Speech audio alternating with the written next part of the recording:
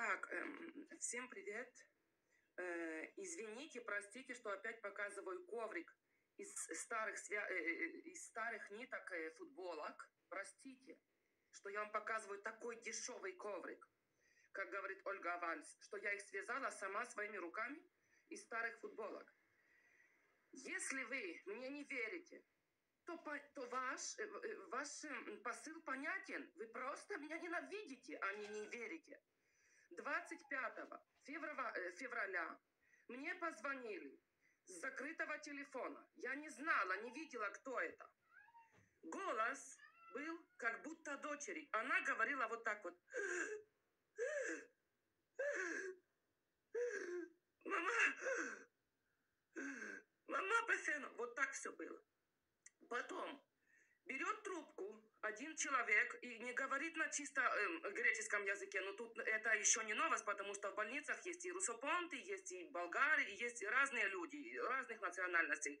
Вот, например, если я где-то работаю, хотя я очень хорошо знаю греческий язык, то все равно люди понимают, что я не из Греции. Что у меня, э, э, это, э, как сказать, э, не диалект, а акцент другой, так же, как и сейчас на русском. Этот человек мне говорит, ваша дочь заболела ковидом, она задыхается. Нужно 22 тысячи евро, или э, она, у нее э, э, шансов на жизнь нету. У меня давление подскочило 186 на 100, не помню сколько уже, я, я просто не помню, нужно пересмотреть. А почему? Я могу показать. Я могу показать ми- ми- ми- полминуты, полминуты. Раз уж я уже это все показываю, записываю, оправдываюсь, то тогда пошли нахуй и посмотрите.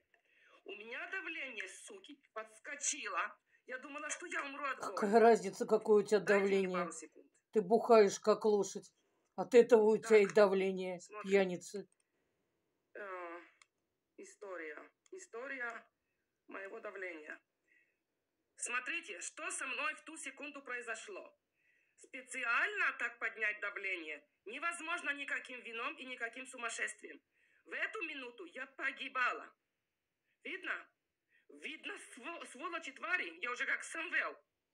Видно, что со мной произошло 182 это высшее давление, 129 это сердце, почти вдвое, чем должно быть. И 139 пульс.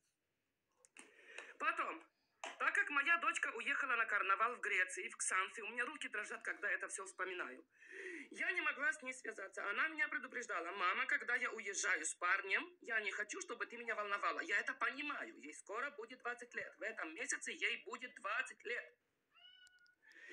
Я не могла связаться с ней э, много времени. Они мне сказали, что если и вы не привезете деньги, то э, она, как я уже повторяла, не, не, не, будет жить. У меня сердце до сих пор не в порядке. Я борюсь со своими эмоциями, потому что это все свежо. Что еще сказать? Пишите под этим видео, я все отвечу. Когда я звонила своему бывшему мужу и сказала, Димитрий, вот так-то, так-то, он сказал, да ну, это все неправда.